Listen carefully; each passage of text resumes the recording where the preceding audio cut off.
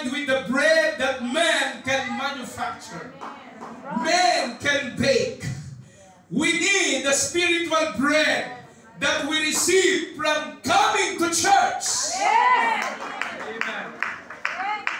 But not only did not David bring his bread, but he also neglected to bring his weapon. Oh. Because of that warrant of arrest, Jonathan advised him, run away right now.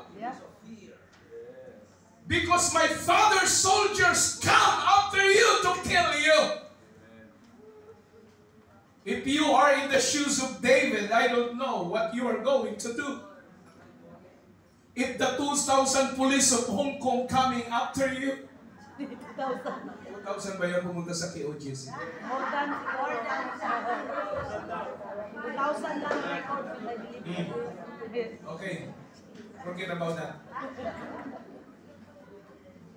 So in this scenario, huh, in this situation, that even David neglected to bring his weapon.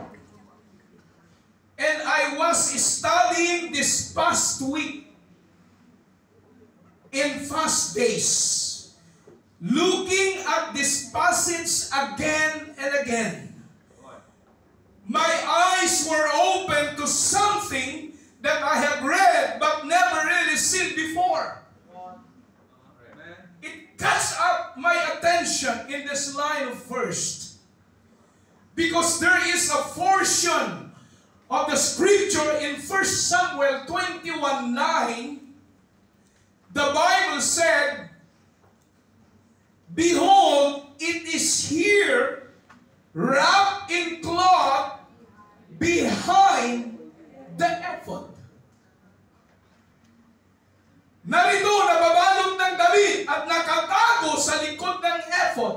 na nakasakbit. Kunin mo kung gusto mo. Yan ay pinakamainam. At ang sabi ni David, ibigay mo yan sa akin. Now, listen to me, church. This is a very interesting to note the significance of each of this item. It is in our slide. Because the sword, you put it inside so that they might follow me. The sword is God's weapon for David, which signify victory. He forgot anything because suddenly he ran away. But Ahimelech said, There is one here, no problem. It is the sword of Goliath that you will use to kill Goliath. So, my point in this situation, this is a very interesting to me that there is a significance of that two items that the sword is signified victory. And the ephod, this is the garment that signified our worship.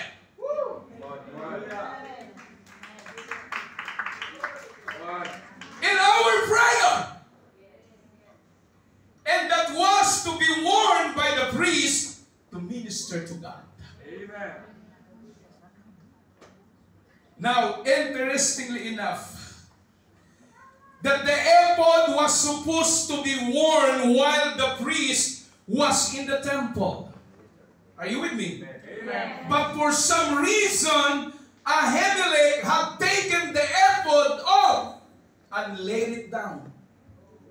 I have a props here so that you might understand.